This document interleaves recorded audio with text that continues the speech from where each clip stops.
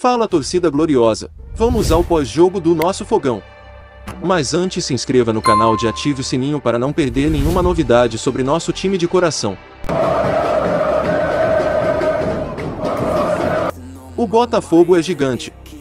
Mesmo com um roubo absurdo pelo despreparado árbitro Sávio Pereira Sampaio e jogando com um a menos praticamente o jogo todo, o Glorioso conseguiu uma virada histórica e derrotou o Internacional que estava invicto a 16 jogos de virada por 3 a 2, com direito a gol aos 55 minutos da segunda etapa e confusão no fim.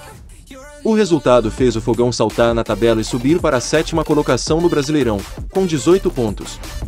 Roubado pela arbitragem logo no início e com 13 desfalques, o Botafogo foi muito valente com um a menos e arrancou uma vitória por 3 a 2 em cima do Internacional neste domingo, no estádio Beira-Rio, em Porto Alegre.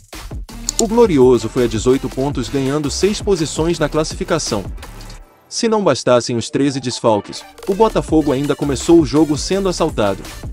O árbitro Sávio Pereira Sampaio, após um chamado inexplicável do VAR Rafael Traci, assinalou pênalti inexistente para o Inter, marcando o toque de mão de Felipe Sampaio a bola bateu no peito. Para piorar, ainda expulsou o zagueiro. Edenilson foi para a cobrança e fez 1 a 0. A cagada da arbitragem, além de causar prejuízo técnico, afetou também o psicológico do Botafogo, que também perdeu o técnico Luiz Castro na beira de campo, expulso por reclamação. Minutos depois, num lance que iniciou num tiro de meta marcado erroneamente, o Internacional ainda fez 2 a 0, com Busto chutando cruzado no alto. Apesar de toda essa situação, o Botafogo mostrou ser muito valente e tentou correr atrás do prejuízo. Aos 19 minutos, Saravia ganhou uma dividida na entrada da área e Vinícius Lopes aproveitou para fazer 2 a 1. O mesmo Vinícius poderia ter empatado aos 31 minutos, mas o goleiro Daniel salvou após bobeada de mercado com superioridade numérica. O Inter continuou controlando a posse e teve a chance de fazer o terceiro aos 37. Quando o Gatito Fernandes impediu que a rede balançasse em chutes de Edenilson e David. Mas o Botafogo poderia ter ido para o intervalo com empate, após cobrança de falta. Carly raspou e Vinícius Lopes, no segundo pau, totalmente livre e de frente para o gol, escorou para fora. O Internacional chegou a fazer o terceiro aos 10 minutos do segundo tempo, mas Alemão dominou com o braço e o lance foi invalidado. O Botafogo seguiu muito valente e conseguiu o empate que parecia improvável. Aos 13, após escanteio da direita, a zaga afastou mal, Kali cabeceou para o segundo pau e Erisson completou também de cabeça. 2 a 2.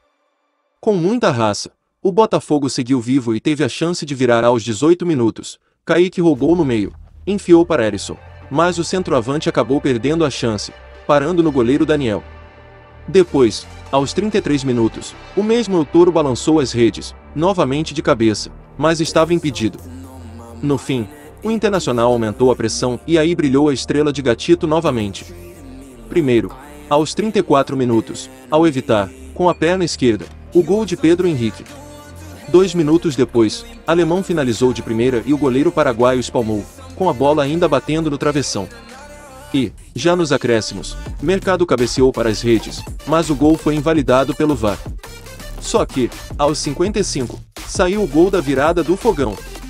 Matheus Nascimento enfiou, Kaique pegou a sobra na raça, deu um toque antes do goleiro e Hugo pegou a sobra.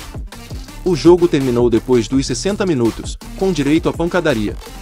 O Internacional não soube perder, mas teve que engolir. Aqui é o gigante Botafogo. Esse foi nosso pós-jogo dessa épica vitória do Glorioso dentro do Beira Rio. Comenta aí embaixo como foi a emoção de vocês nesse jogaço. E não se esqueça de se inscrever no canal, ativar o sininho e deixar o like, para motivar a gente a produzir cada vez mais conteúdos. Um abraço e até o próximo vídeo.